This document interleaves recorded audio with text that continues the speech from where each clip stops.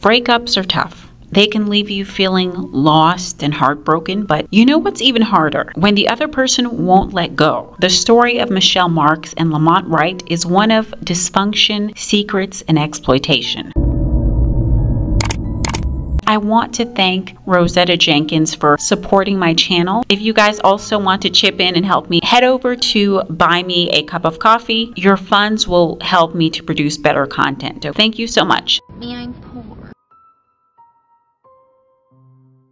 Michelle Marks is a 23 year old woman with aspirations of becoming a fashion designer and traveling the world. She may work as a waitress at Fornino, a pizzeria at Brooklyn Bridge Park, and live in public housing in Crown Heights with her mother and sister at the moment. But with hard work and dedication, all of this will be a thing of the past. She's got her heart set on a brand new life in sunny California. There's just one thing standing in the way Lamont Wright. Her ex isn't ready to call it quits just yet. The two were together for three years. Wright is 23 years her senior. The man's old enough to be her dad. I'm not being judgmental, but it makes you wonder about the nature of their relationship. Was it traditional or transactional? Although the pair had been together for a while, Michelle kept their connection under wraps. This may have had something to do with the mystery man's lengthy criminal record. Lamont is basically the definition of a dusty, with well over a dozen arrests under his belt, mostly assaults. In 1990, the Flatbush resident served a year in the big house for attempted burglary. He was taken into custody for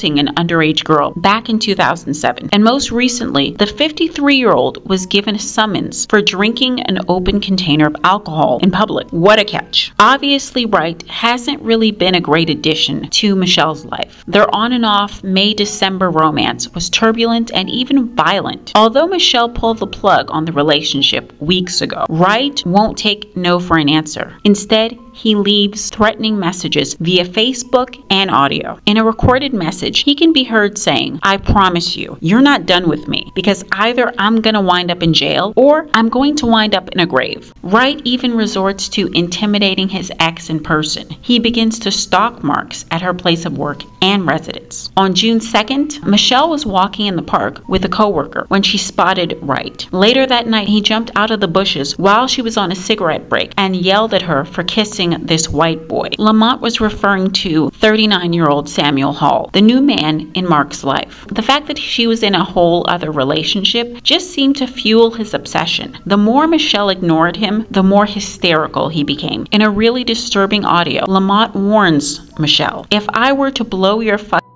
out. Everyone would say that I was wrong. Things came to a head on June 5th when Wright shoved Michelle in the hallway of her apartment building, knocking grocery bags out of her hands. She screamed for help, and her mother, Pauline, came to her aid. This was the first time that her mother had ever met Lamont, and he made a terrible impression, to say the least. Pauline asked Wright, Why did you hit my daughter? And he just stood there with a blank expression. Pauline is certain that he was under the influence or something. It was like the elevator didn't hit the top. He didn't run or anything, just stood there staring. No remorse, no smiling, nothing. Both mother and daughter would make a complaint to police, and Michelle also made plans to get an order of protection. This was the last straw.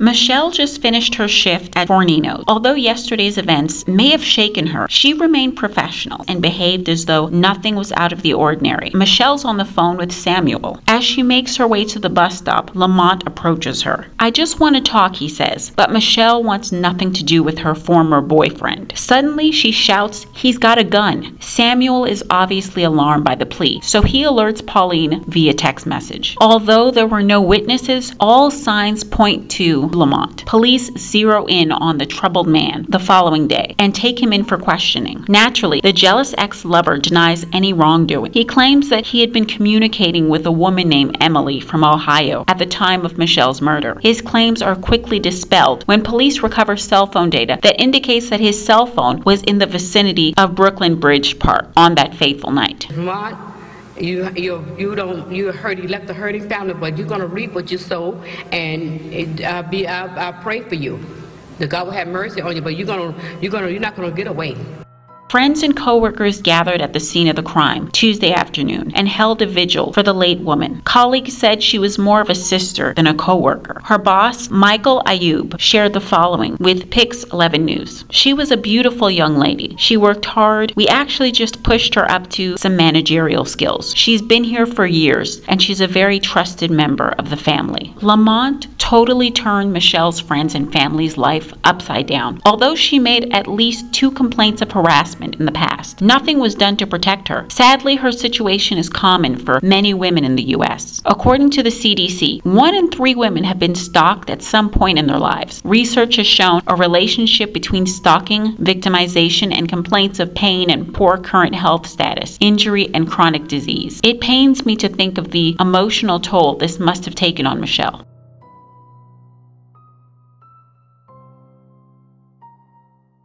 The media likened the trial to a soap opera because of the theatrics, varying emotions that were displayed, but most troubling, the secrets that were revealed. Throughout the trial, Wright behaved as if he had better things to do. For weeks, Lamont made it his duty to terrorize Michelle. In one of many Facebook messages, Mark's obsessive ex lover threatened to hunt her down and kill her if she didn't respect or see him. Prosecutor Michelle Kaminsky surmised that his actions were premeditated. In another message, Wright dropped drops a bombshell. Apparently, Michelle and Lamont had been carrying on a sexual relationship for the past eight years, which means that she was 15 at the time. Pauline is flabbergasted. This was a quiet relationship that started when she was 15, meaning you're a child molester. Mark's mother, Pauline, said in her victim impact statement, How could you live with yourself? Of course, Wright had nothing to say before Brooklyn Supreme Court Justice John Hetch, which angered Michelle's relatives. Why? Why won't he say anything? One sister of Michelle Marks cried out from the gallery of Brooklyn Supreme Court. Another loved one chimed in. If he was innocent, he should say something. But Lamont remained silent. The 25 year to life sentence spoke volumes.